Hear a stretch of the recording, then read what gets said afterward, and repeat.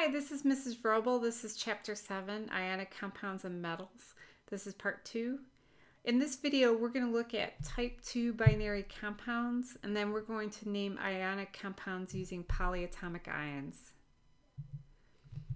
Okay, so Type 2 compounds, what do they mean?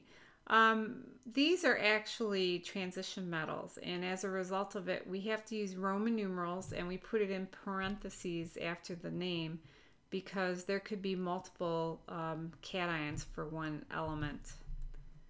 Notice that we still name the cation first and then we name the anion second, but we put a Roman numeral in parentheses after the cation's name. Okay, so examples. Here we have cobalt and chlorine.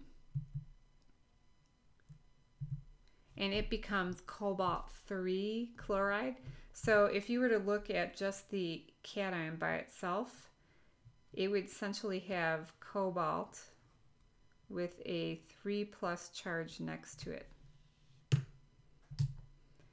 Here we have uh, copper and iodine, and together they form copper 1 iodide, tin with bromine, and it forms tin Roman numeral 4 bromide. We have iron with oxygen, and it forms an iron Roman numeral 3 oxide. And then lastly, we have lead with sulfur, and that forms a lead 2 sulfide. So here's a flowchart for naming binary compounds. Notice that you need to look and see, is there a metal present? And that's going to be the cation.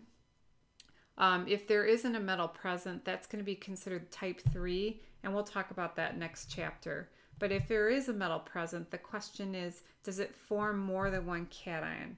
So notice how if it's type 2, um, we're going to use a Roman numeral after the element's name because there might be more than one charge for that transition metal. Okay, now we want to talk about polyatomic ions. Now notice poly means many, so we're talking about many atoms, and typically it's two or more types of atoms, and together they carry an overall net charge that's either positive or negative. So as a result of this, we tend to put parentheses around them just to show that there's an overall charge with those two, two types of elements. Here is a table of polyatomic ions. I will give that to you because there's no way I expect you to memorize all the different polyatomic ions. But I'll just go over a couple examples of them with you here.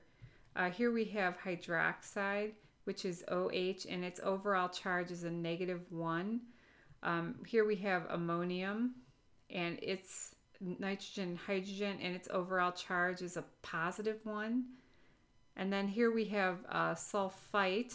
It's sulfur and oxygen, and its overall charge is a 2 minus. Okay, now, uh, to sort of make some sense of why we're putting subscripts where we're putting them, um, we're going to use the crisscross method to determine the subscripts if we know the metal and the nonmetal in our compound. So the first thing is you want to figure out which one's the cation, which one's the anion. And remember, the metal gets named first. And you also need to determine the charge that the anion or the cation form. And remember, it's based on the group. Um, the first column, the alkali metals will form a 1 plus charge. The alkaline earth will form a 2 plus charge. And magnesium is a 2 plus from the alkaline earth. And if you were to use the crisscross method, notice that um, if you were to take the charge on the element and bring it down, it becomes the subscript. Here, this is a 1, and it's an understood 1 for magnesium. Now, if you wanted to balance these ions to make sure there's an overall zero charge, notice that we have 1, it's our subscript of magnesium, and it has a 2 plus charge. And we're going to add it to, there's a subscript of 2, and we have an overall minus charge. So we have a positive 2 plus a negative 2, our overall charge is 0. Okay, here's another example, and this is actually using polyatomic ions. So remember, we have two or more atoms that are acting like a unit and they can be positive or negatively charged. And um, we're going to do the crisscross method.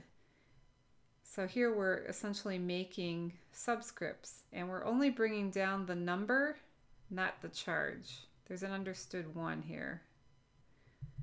So it forms a NH4 with a subscript of 3. Now, we could draw parentheses around the phosphate, but you don't have to when there isn't an additional subscript. And I know students typically get confused about these subscripts. Remember, they, they stay with the atoms.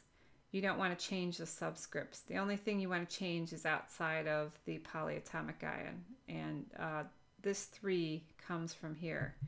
So when we look at it, notice that there's a subscript of 3 for ammonium and it has an overall 1 plus charge. We're adding it to an understood 1 subscript of phosphate, which has a 3 minus charge. And when you add a positive 3 to a negative 3, you get an overall 0 charge. Okay, so you might ask yourself, why do we use Roman numerals? Well, with transition metals, they can form 2 plus or 3 plus ions. Um, typically, they can form greater than 3 plus ions, but we won't necessarily get into that. But please notice that when they lose their electrons, they tend to form what we call pseudo noble gases. So they become like a noble gas. They still retain the number of protons, but um, they obviously lose electrons to have a more stable configuration. Okay, so in summary, we look at the ratio of cations to anions to figure out the net neutral ionic charge of a compound.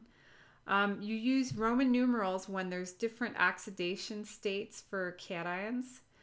And polyatomic ions consist of two or more atoms that act as a unit together, and we use parentheses to help um, keep that together. And then lastly, we include a subscript if it's needed.